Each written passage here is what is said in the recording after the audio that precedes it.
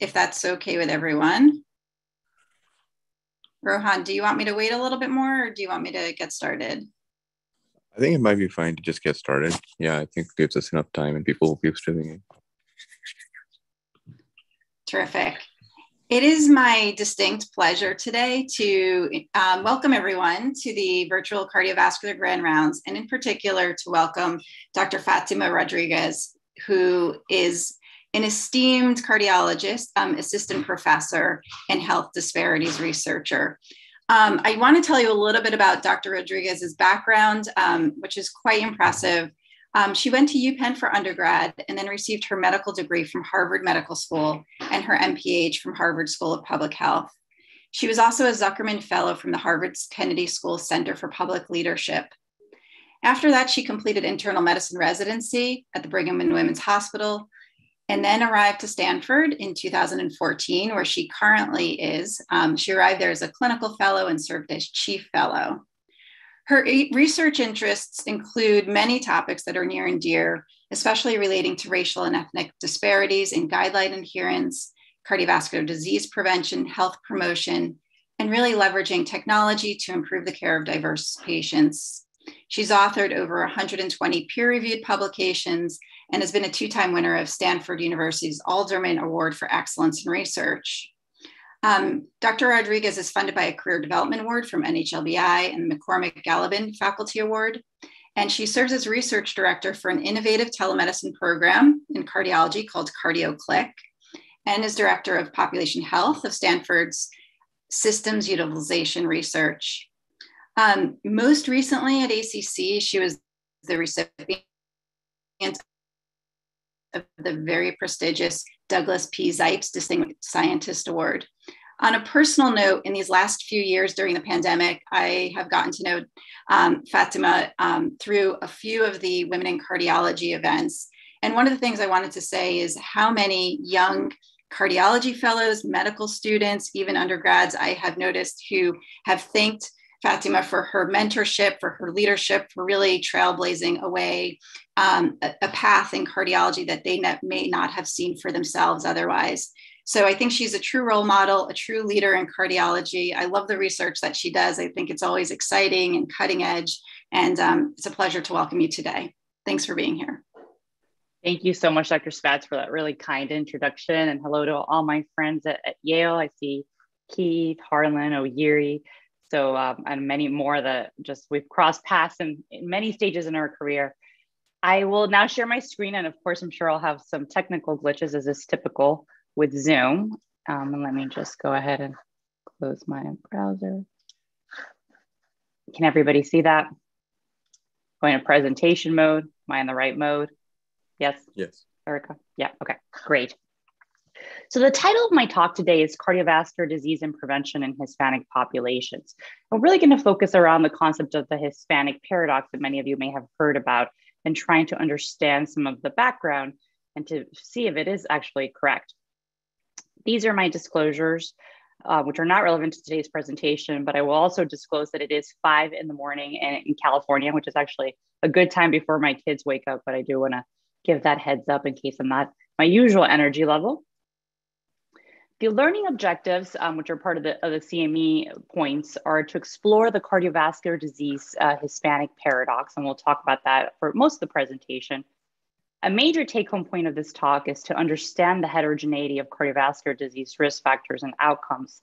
And if you take one thing from today's talk, is that there is so much more heterogeneity between the same population than uh, across different populations to consider acculturation and language and factors when caring for Hispanic patients in our cardiovascular medicine practices. So try to be a little bit practical about how we care for our growing Hispanic patients in our clinics.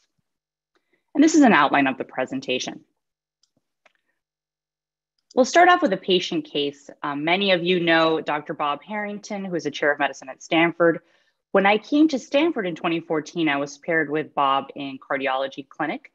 And our first patient was a Spanish speaking older gentleman, Mr. E. I was very excited to continue caring for Spanish speaking patients in cardiology.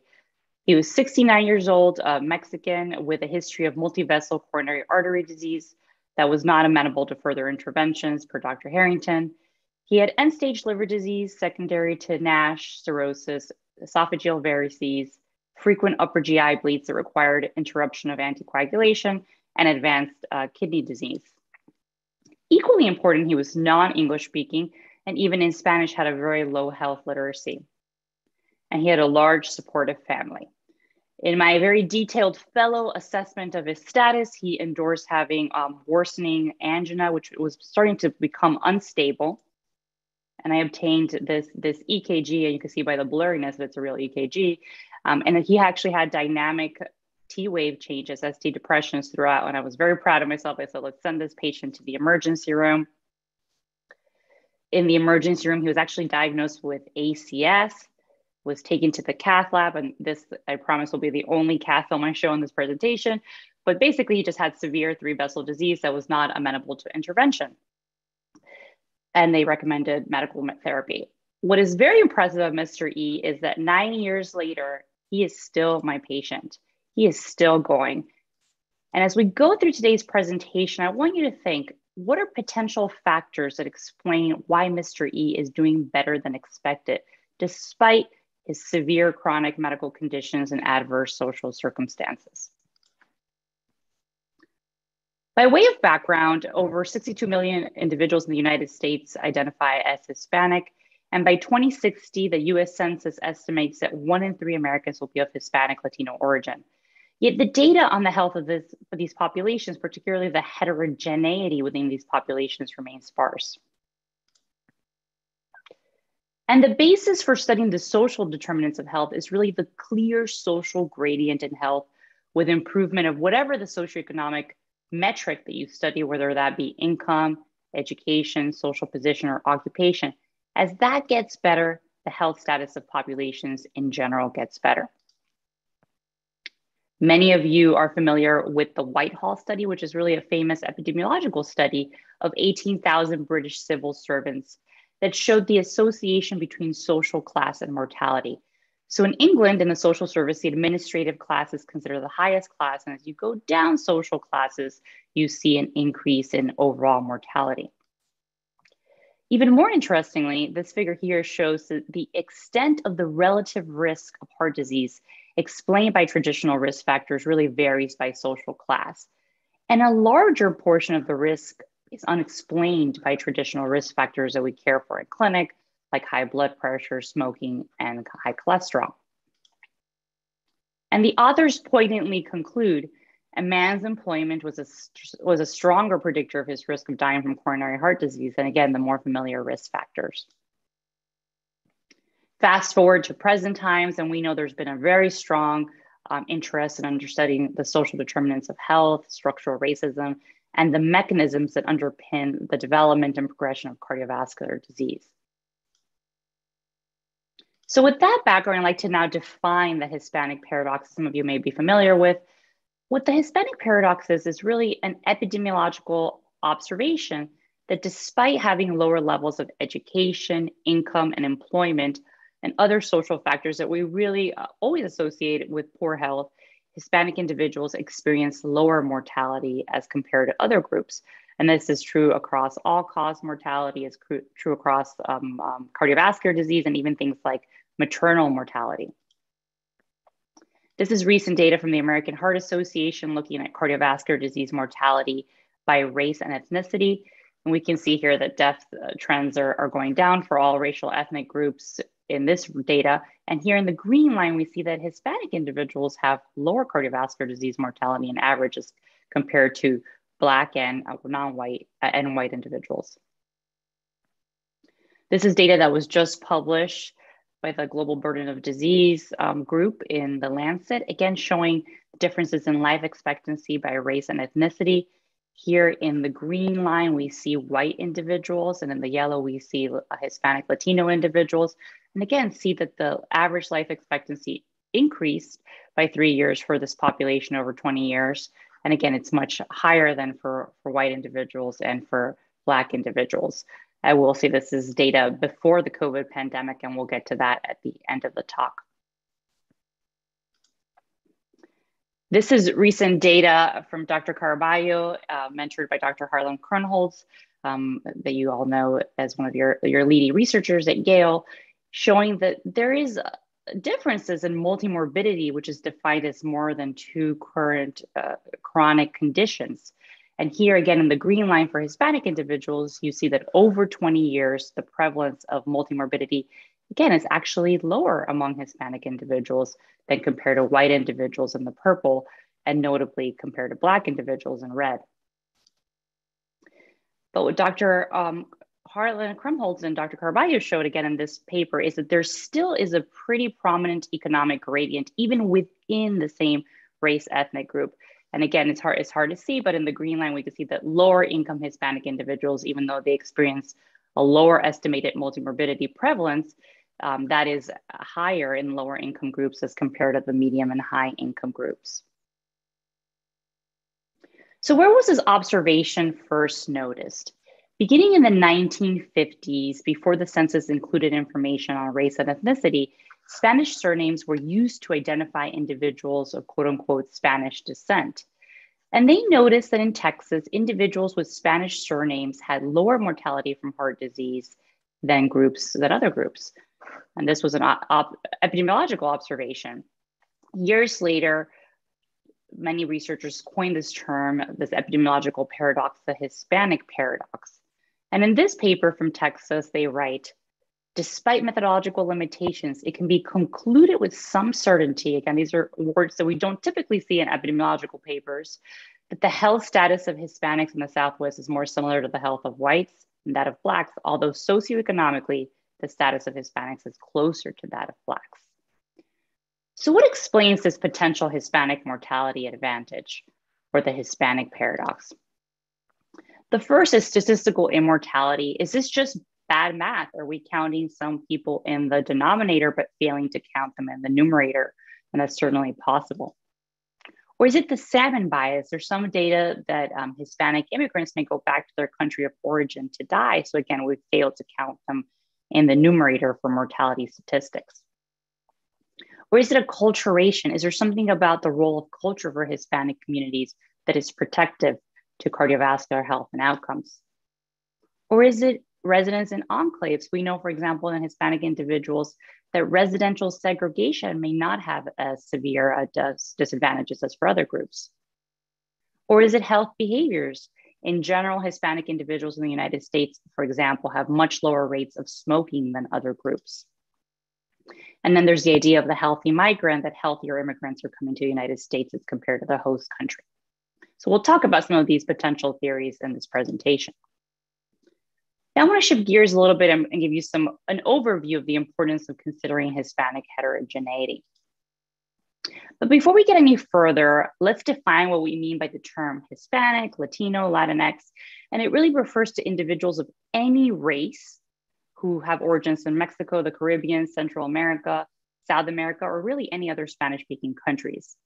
And Hispanic individuals, as I'll show you in the next couple of slides, varies tremendously across cardiovascular risk factors, socioeconomic status, acculturation, where people live, and all these impact cardiovascular disease risk factors and subsequently outcomes. But when we study these groups as one large homogeneous group, we may fail to fully capture the burden of disease across these populations. And there was a, a, paper led by Carlos Rodriguez in 2014 by the American Heart Association, again, really calling to action the importance of looking at Hispanic heterogeneity through the lens of not only um, country of origin, but also immigration patterns, acculturation.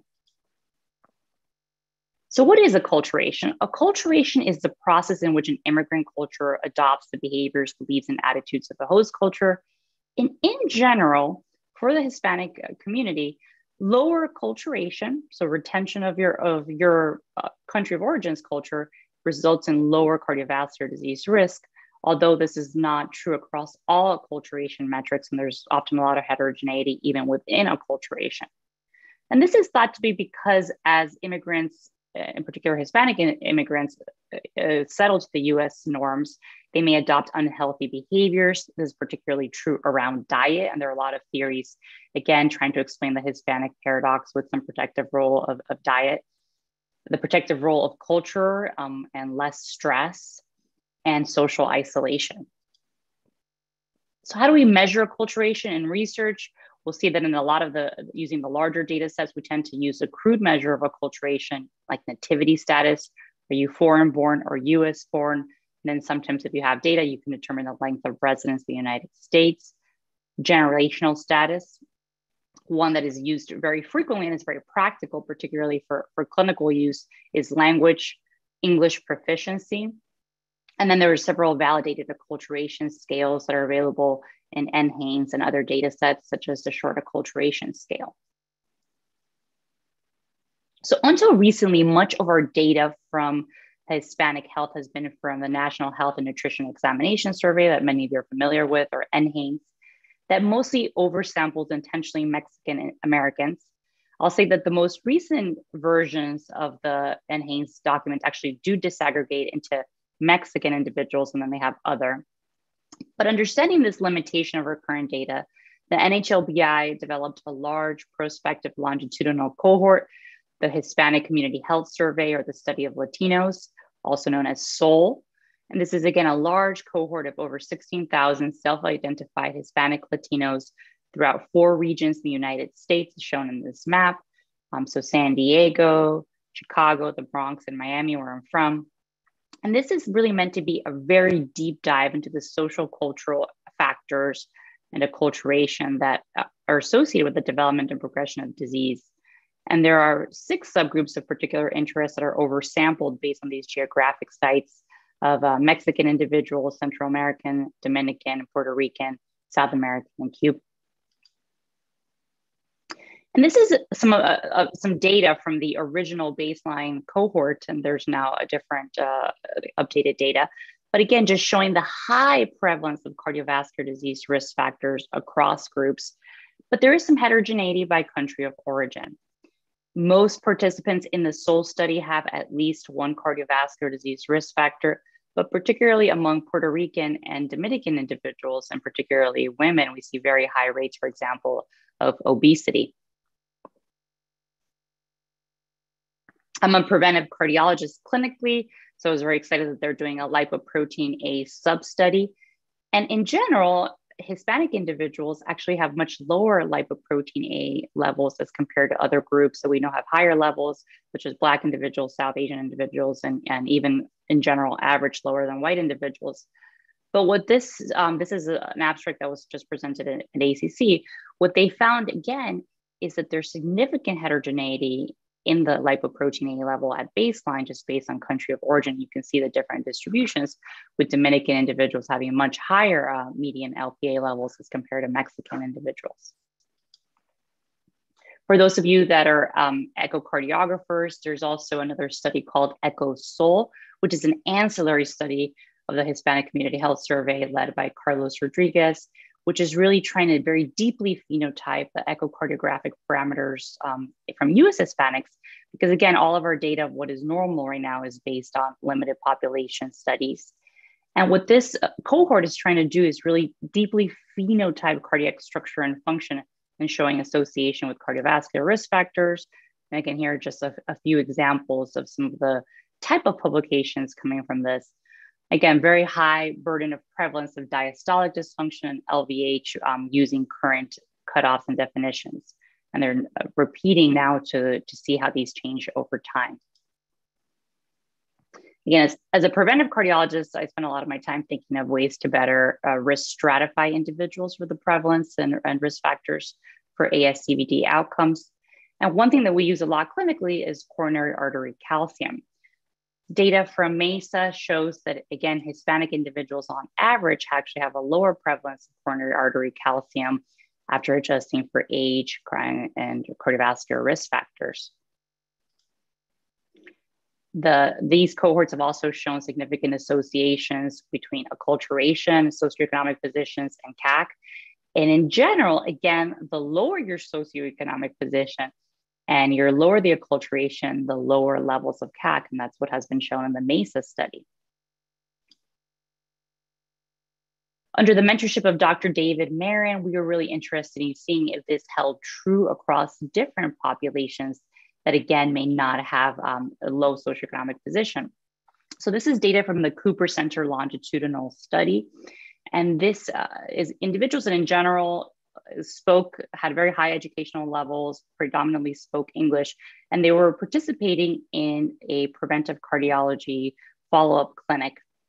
And what this graph shows is that despite very high rates of cardiometabolic risk factors in Hispanic individuals, overall, there's no difference in subclinical disease as measured by CAC by Hispanic ethnicity. So there's no protective role of Hispanic ethnicity in the higher educational levels. And in fact, for women, we actually see higher levels of coronary artery calcium after prevalence. So I've just given you a lot of conflicting data. Is acculturation detrimental to cardiovascular health? So different acculturation metrics may yield conflicting results. Higher acculturation is associated with adverse cardiovascular risk factors in general, but not necessarily clinical outcomes. And there's a fluidity in the acculturation process that is not routinely captured.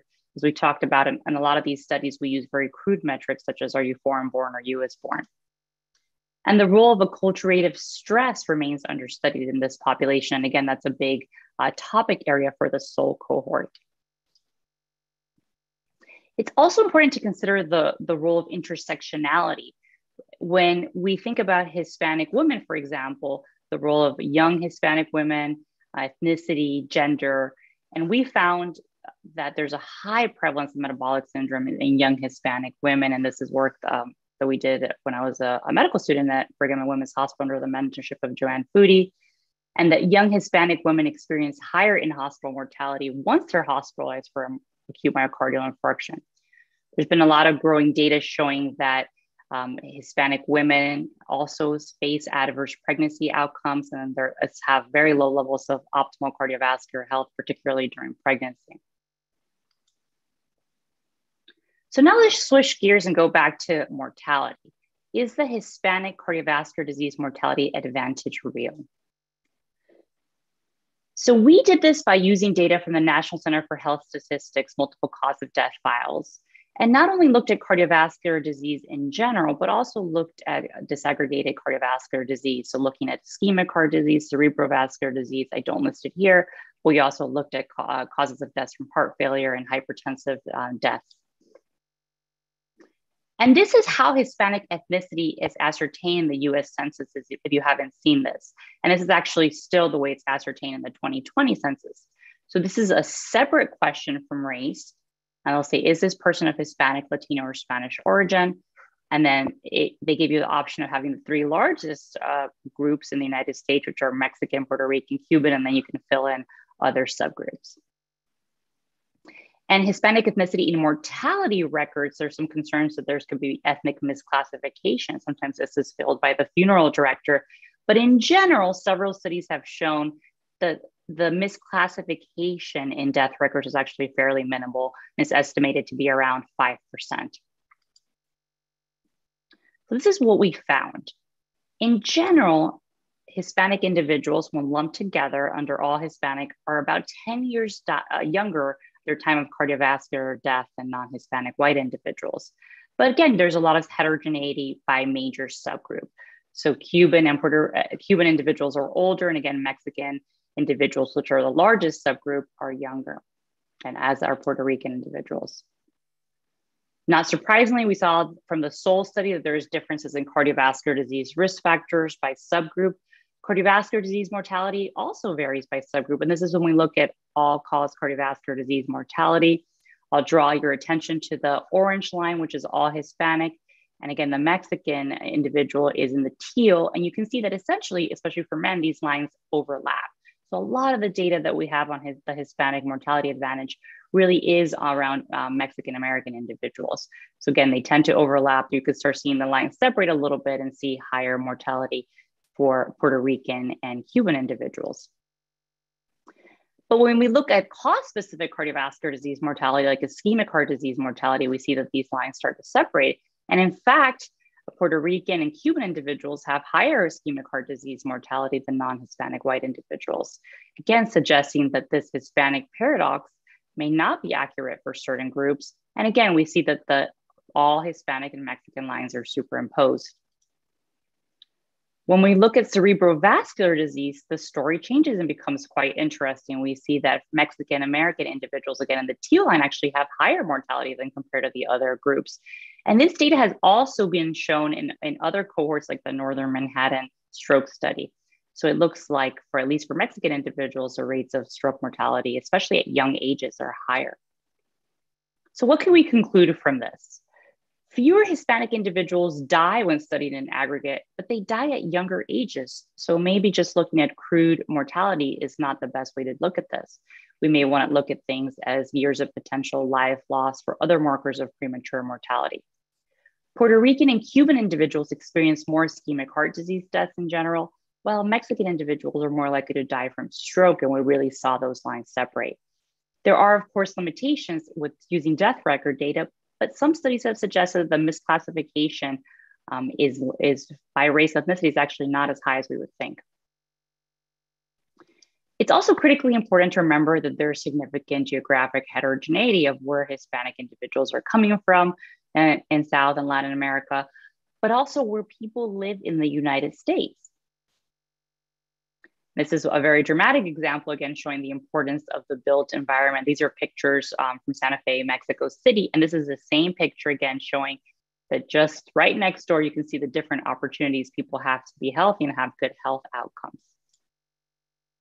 So we asked the question, are Hispanic enclaves protective? Could that potentially explain some of the benefits of, the, of, his, of Hispanic health? And much like for, for Black individuals, Hispanic individuals tend to live only in certain parts of the United States. We see here again, largely, um, there's some places in Florida, uh, California, again, the, the Southwest, uh, high concentration, but not so much in other parts of the United States. So you're probably wondering what the Hispanic population is in your area. So this is uh, in, in New Haven, Connecticut. Again, the Hispanic population is around 20% which is a little bit higher than the national average of about 18% across the country. Where I live in, in Santa Clara County, it's about uh, 30% in California. So our hypothesis was that Hispanic ethnic density would be protective to cardiovascular health, but unfortunately that is not what we found. We found that as the proportion of Hispanic individuals in a county increased, the age adjusted mortality for it actually increased as well. And this was true for Hispanic individuals and non-Hispanic individuals. Of course, Hispanic ethnicity in itself is not a risk factor for higher mortality, but we know that there are certain factors of these counties where Hispanic individuals live that are associated with poor cardiovascular health.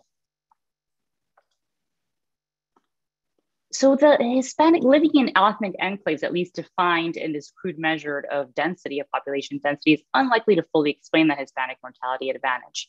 And there are several confounding adverse effects of where you live, and again, where people immigrate to this country.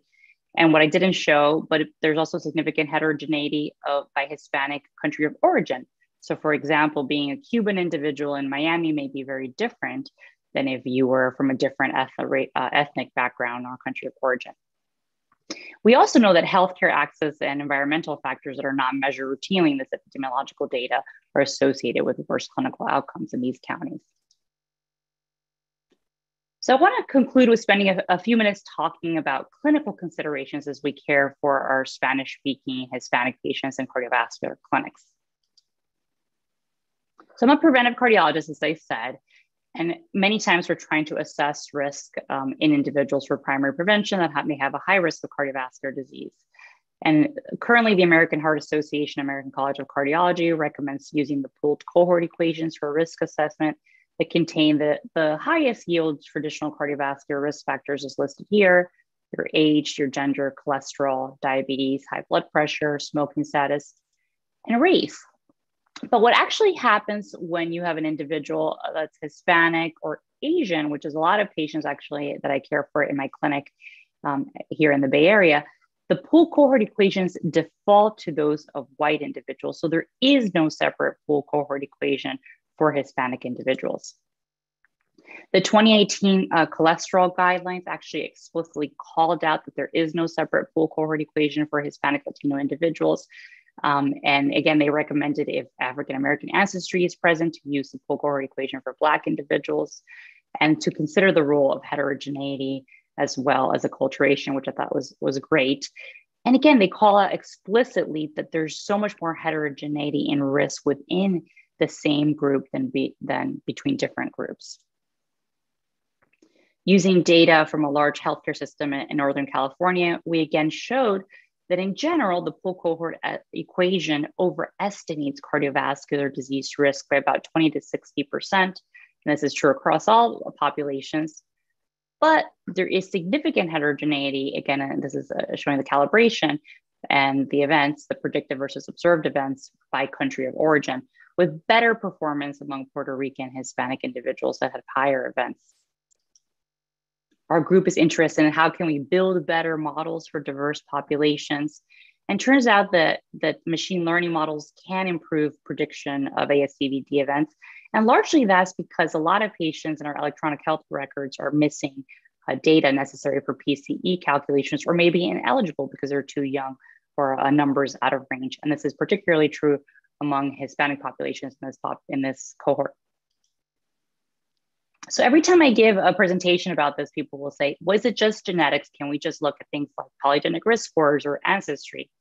And this is work uh, led by Shoa Clarke in our group as a preventive cardiologist, again, showing the dramatic uh, lack of data really on, on every group that's not from a European ancestry. But again, very few of the genetic uh, databases actually contain any data on Hispanic uh, and Latin American individuals. Again, this is data uh, from Dr. Clarke that will soon be published in the Circulation Disparities Edition that shows that in the Million Vets program, with this, which is data from the Veterans Health System, there's so much more heterogeneity among Hispanic individuals. And you can see that by the scatter plot as compared really to any other group. So trying to ascribe just one genetic ancestry or one kind of foci, and again, this is not my area, that's why I don't, I don't know the details, but that that is, it could be problematic. And the pooled cohort equations and adding this to the pooled cohort equation may not actually improve the performance. This is work led by Dr. Uh, Ashish Sarraju, who's, who's now at the Cleveland Clinic, showing the underrepresentation of Hispanic individuals in our clinical trial evidence. And again, this is the cholesterol clinical trials. So he showed that compared to the US Census, Hispanic trial participation was 58% of expected. Your chief of, of cardiology, Dr. Velazquez, uh, is very interested in improving the representation of diverse groups in clinical trials. And we've done some work trying to brainstorm about what are the best ways to get diverse part- participants, and particularly Hispanic individuals, to participate in clinical trials. And not only is this the right thing to do so that individuals who have the disease are represented in clinical trials, but it's also going to be required. And we know that all of our leading journals are going to have an enrollment table that again tells you the if you're not able to meet your enrollment goals, you should have an explanation, particularly for these uh, underrepresented populations. We know that limited English proficiency is a, is a critical risk factor for cardiovascular uh, disease access and outcomes. And again, it's a very common uh, issue that we deal with in our clinic. And it's very important that we define limited English proficiency well. So this is not people who necessarily have to be fluent, but if you speak English less than very well, that is LEP. And there are legal mandates to provide interpreter services. This is a topic that is very dear and near to my heart because I was an interpreter actually before I went to medical school. So I always spend a lot of time with our medical residents uh, and, and, students explaining the importance of using an uh, interpreter and not relying on family members. When I was a medical student in, at Harvard, we did a study looking at anticoagulation outcomes and how limited English proficiency patients, even in a clinic that had very high levels of time and therapeutic range, um, was associated with adverse outcomes. And this was, again, explained by communication barriers telemedicine is something that has come up over and over again during the pandemic and it's here to stay. But again, there's been a lot of studies showing that telemedicine may be problematic for non English speakers. And again, this is true for many of our Hispanic patients. I was just in clinic last week and my uh, older Hispanic patient was just like, I'm not doing this. But you can do it. And you can do it, but you just to develop a workflow for telemedicine. What did this mean? it meant working with the medical assistant beforehand to try to make sure she had the connection, enlisting family members when necessary to connect people to video platforms. And not all encounters are appropriate for telehealth. We also need to do a better job of confirming the language proficiency of clinicians. Uh, for example, at Stanford, we now all have to take a test, even if you're fluent in Spanish, to before you you can um, provide telehealth in, to, to patients in Spanish. If not, an interpreter is automatically linked to your visit based on patient preference. This is a study from Kaiser Health in Oakland showing that it is actually very possible to successfully connect to video visits if you use um, medical assistant support for these visits. Again, a little extra investment to really improve the quality of the visits. So I want to conclude, and I don't know if Keith Churchwell is still on, on the call, but with discussing structural racism and structural inequities um, as fundamental barriers to poor health. And again, uh, Dr. Churchwell led this initiative, and I was really proud to be part of this because it really called out structural racism as the driver of health disparities. And there's no better example of structural inequities than the ongoing COVID 19 pandemic. This is data from the COVID 19 cardiovascular disease registry from the American Heart Association, showing the dramatic overrepresentation of both Black and Hispanic individuals in the registries.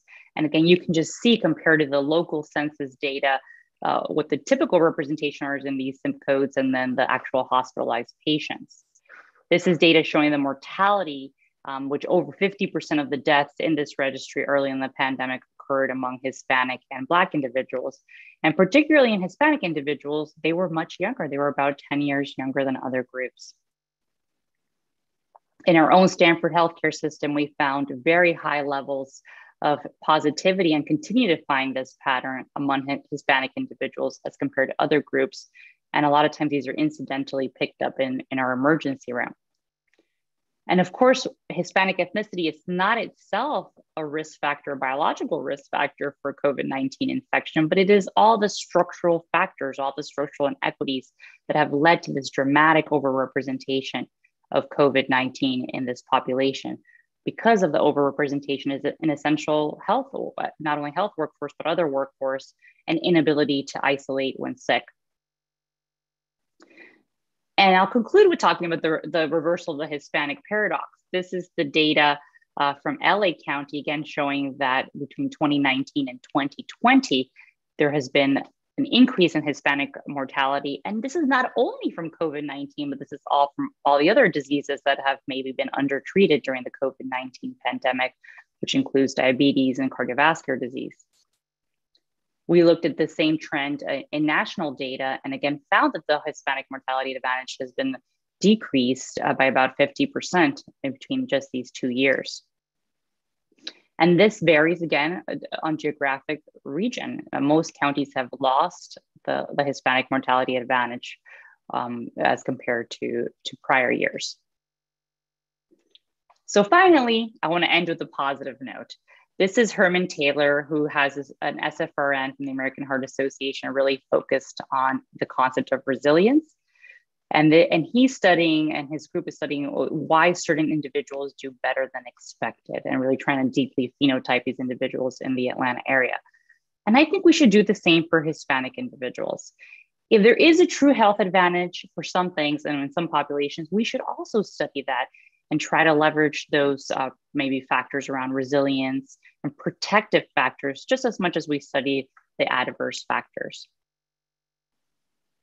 So to conclude, why did Mr. E do better than expected? I'll tell you that he is still my patient again, nine years later.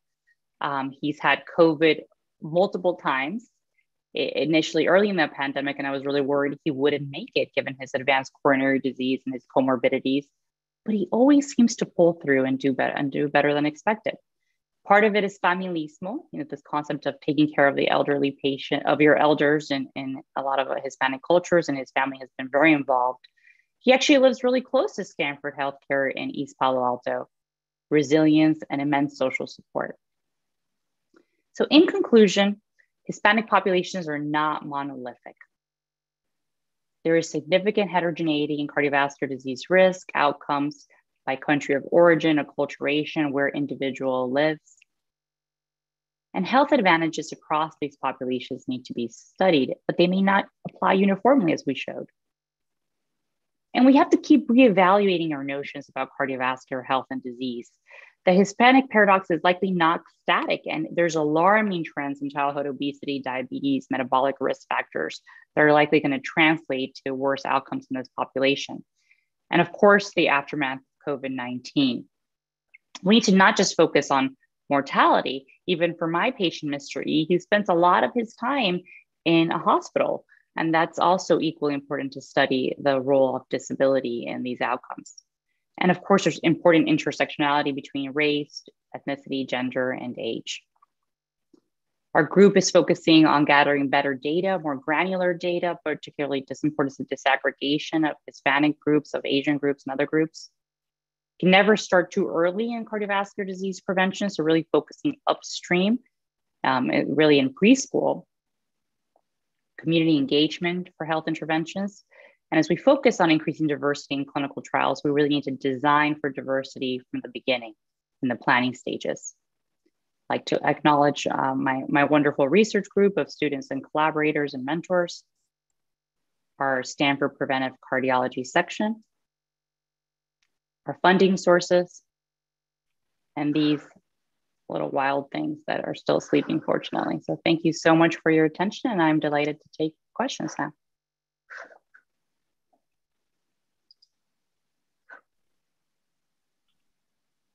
Thank you so much for a fabulous talk. Um, I see Dr. Velazquez is on camera, so I will turn it over to him for the first question. Uh, well, Fatima, wonderful talk, and thank you so much for joining us so early in the morning. And uh, you know, um, it's amazing when kids sleep like that. It's uh, it's a gift. Um, uh, uh, I have two questions. Um, really, um, first of all, thank you for leading this this focus. Uh, I think this is uh, incre- incredibly important and uh, increasingly important as you know, um, you know, Hispanic population become the majority minority, uh, so to speak, in, in, in our country. Um, one is your thoughts about um, kind of uh, central biological paradigms, and I, and I you mentioned uh, lipoprotein little a. Um, you, you also, you know, I, I want to get your thoughts on airborne pollution, both indoor and outdoor air pollution, and how that relates to uh, these uh, um, differences among uh, different ethnicities. Um, that's that's one question, a more biological question. The second one is more kind of just your thoughts about, you know, as you you know have embarked on this career path. Um, I think the acculturation issue is something that I've found very interested interesting for for decades now. Um, but at some level, I, I don't know if it's been incorporated in, in our scientific paradigms and our research programs. And I wonder as we move increasingly towards kind of more um, uh, implementation science uh, approaches in, in, uh, in our cardiovascular research, how you envision uh, integrating, you know, acculturation measures into that, into that paradigm. So. So, so great question. So the first question is about potential biological underpinnings. And you know, we I showed early that there's a the really nice review in um, circulation research, uh, just showing that the potential biological mechanisms showing adverse stress and social determinants of health leading to cardiovascular disease progression and outcomes. Here we may have a, a flip situation that despite all these adverse social situations, people are still doing well. And I think that that's what Dr. Herman Taylor is studying in the in the MECA study again, which is that we don't those outcomes are, are different in black populations but i think we need to look at that also in the hispanic population like are there differences in our stress response and our hpa axis activation that are potentially protective sometimes uh, when i've given this talk at, at, other places sometimes people have told me it's something about the diet maybe there's like something protective in beans and like the bio like what people are eating that could result in the Hispanic paradox. But of course, this is not true across all populations. And again, the, the heterogeneity is very important. Um, in terms of like a, a gene and some ancestral mechanism, I think there's too much heterogeneity to pinpoint that to, to say it's ancestry. And um, my again, my colleague Shoa Clarke using he's really really focusing his career on that and trying to understand the diversity and genetic signals. Um, for your second question, which is measuring acculturation, so this is really interesting. And I think, again, if we don't measure it and we don't capture it, we can't study it. So the simplest one and I think a very valuable one as we think about individuals' interactions with the healthcare system and research environments is language, right? Are we we're capturing limited English proficiency and are we doing a good job at that? Are in our electronic healthcare systems, uh, socioeconomic factors, social determinants of health are sometimes captured, but not routinely. So I think we could capture that um, more in more detail. The short acculturation scale is, is very short. It's five questions. So again, I think in, in research studies and clinical trials, it would be fairly simple to include a, a five question short acculturation scale.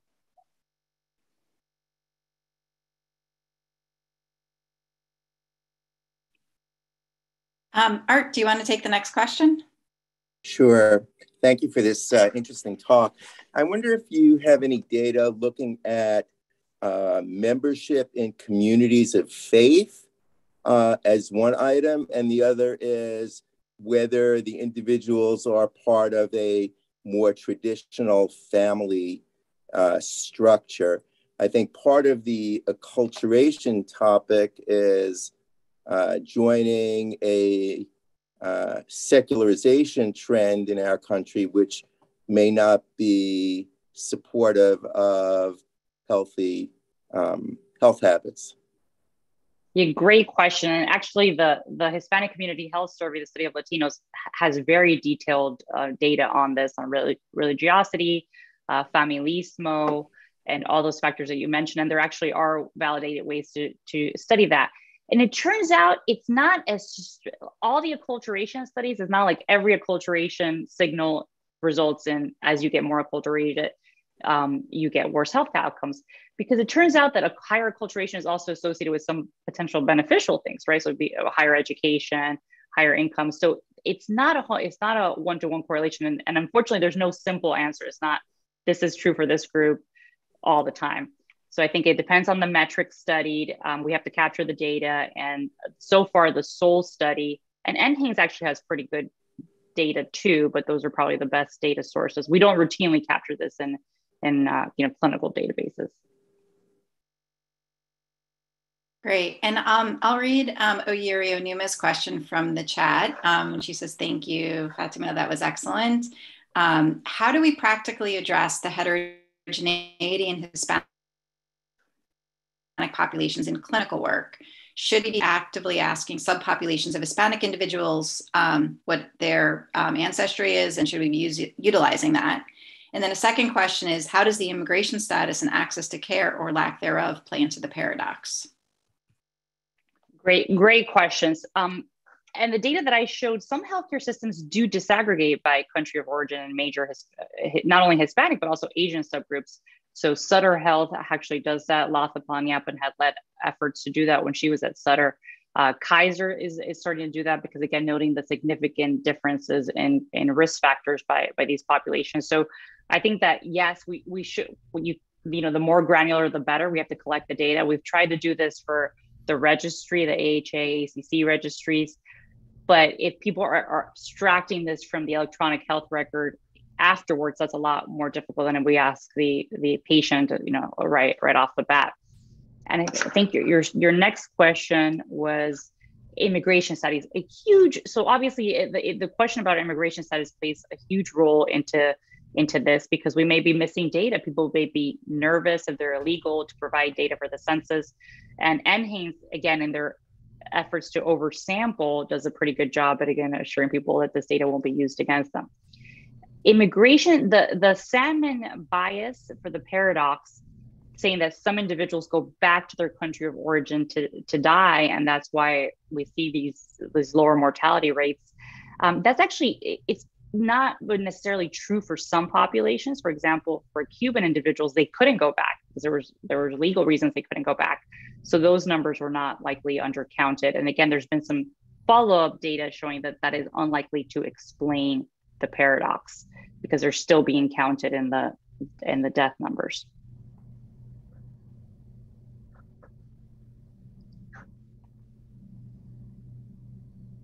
Um, you know, I wanted to ask just a follow on to the um, to the uh, risk scores that and looking at the um, whether or not to include race and ethnicity in those in those risk scores.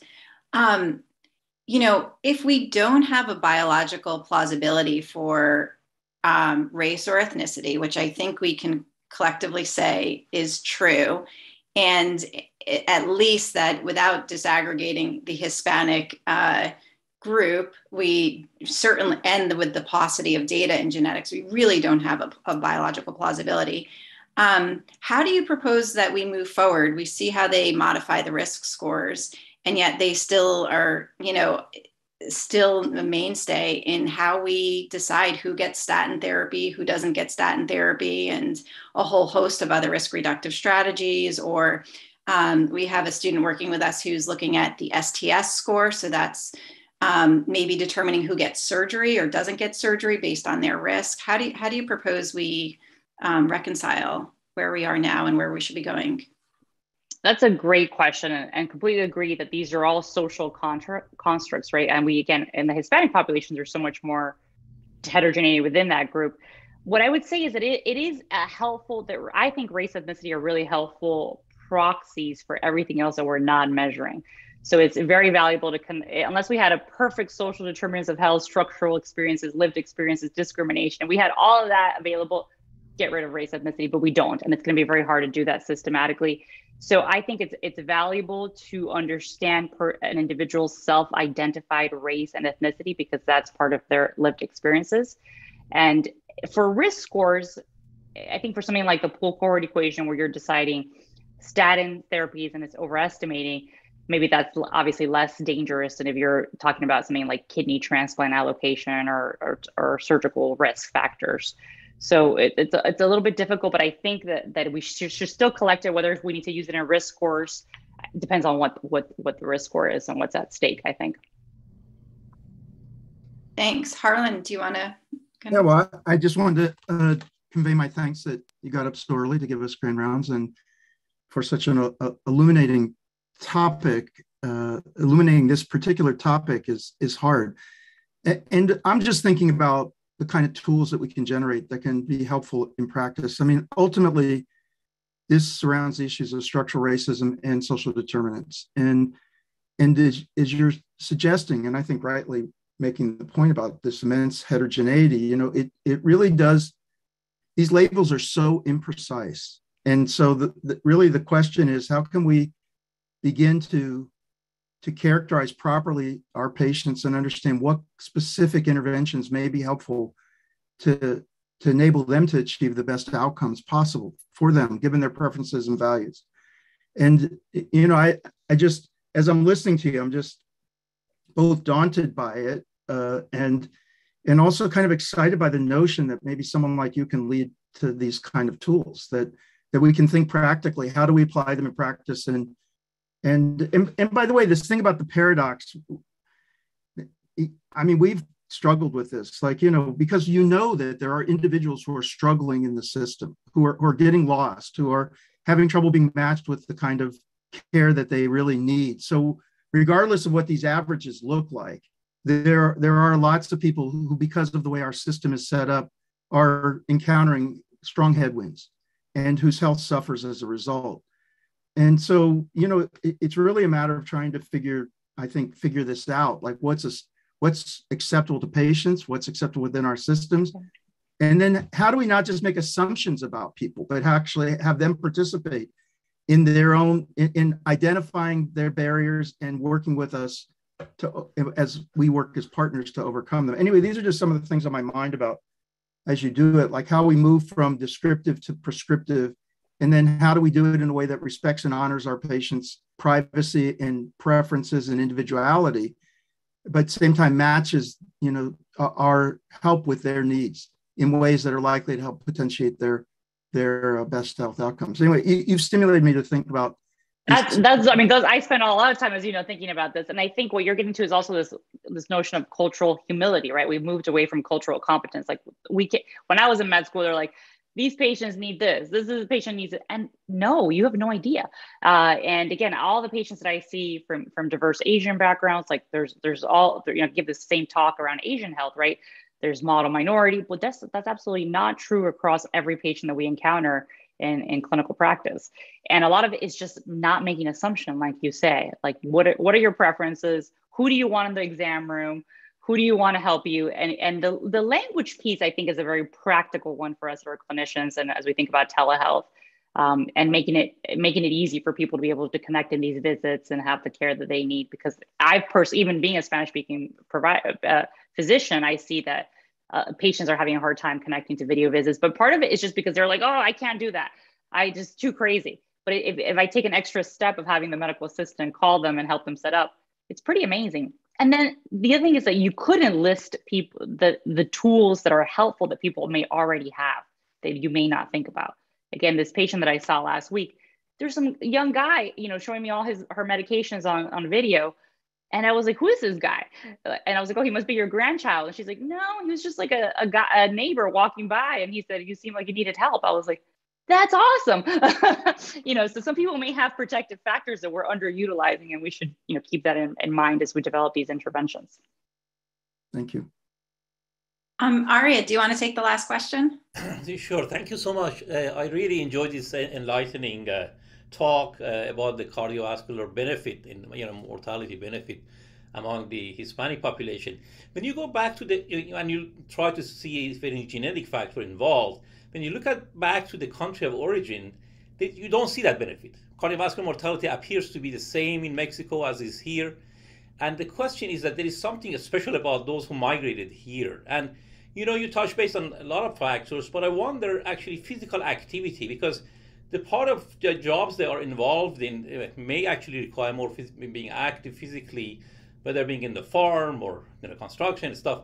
I don't know if you studied that uh, as well to see actually that there is actually some uh, some benefit through that. Yes, that's a great question. So that's one of the commonly held notions is like there's just a healthy migrant. You're having people that are coming to you know do these physical labors, and it turns out that also is not true across the board. So they they actually did, one of the population health services they actually did that. They like measure cardiorespiratory fitness and all these things on, and it turns out that their the health status was not better. And not only was it not better, it declined pretty quickly after coming here. And we can imagine again the social situations that people right. lived in when they live here. Even if you have a very physical job, um, if you're eating poorly, you know, not sleeping, all the other things, it, it counters. So again, I think that those are tend to be the younger populations, and we will see that this is all older data. For the for the older population, some of it is that they're being brought with their family, right? You bring like the the, the older relatives. But yeah, I think that's one of the possibilities, and it probably doesn't explain the whole story. But great, great point. And also a comment I want to say about the principal component analysis that you showed, and uh, and the question that actually uh, Erica asked about you know polygenic risk scoring. Actually, I was quite encouraged to see there is significant overlap between whites and Hispanic. The outlier were blacks actually, completely different PCA, uh, and actually among the more Mexican and other that you showed, there was actually very much similarity in the principal component analysis. So maybe actually polygenic risk scoring can be used, although we have to do a studies more in, in this population. Yes, and and the work the, the this project that's going to be published in circulation by my colleague Shoa Clarke shows that the performance of the polygenic risk scores is very similar among Hispanic individuals that is in non uh, non Hispanic whites. So yes, absolutely. Terrific. Thank you so much for being with us, Dr. Rodriguez. It's terrific to hear this talk. Very provocative, and I think we learned a ton and have a charge before us to um, improve our patients' health, recognizing uh, the individuality of each person. Um, Dr. Bender, did you want to give a closing remark? Uh, no, I, I, didn't really have a okay. remark. I was going to clap, but I just want, I guess I'll make one additional genetic point, which is the opportunity to look at extreme clinical phenotypes in genetics. And the resilience phenomenon is really important. Um, and, and I know I, I learned from, from Rick Lifton, former uh, chair of genetics here, that looking at extreme phenotypes is some way some in some sometimes a way to get at more common genetic variants. So if you have a population, I mean, you can talk about paradox, but a population who has an unbelievable extensive array of risk factors and seems to be extremely resilient and and and keeps cooking along like you're you're the patient you described that would that's a very important population to study. And your colleague whom you've mentioned several times yeah herman taylor is doing that i think it for for black individuals you know yeah. for he says the one for but we, yeah we and i think that that's a great point that i'll talk to with the SOL study group because if people are doing much better than expected there may be something worth investigating there. I agree. Well thank you so much for the invitation. It's it's an honor to see everybody so many friends and colleagues from from many stages in my in my career and and uh, look forward to seeing you again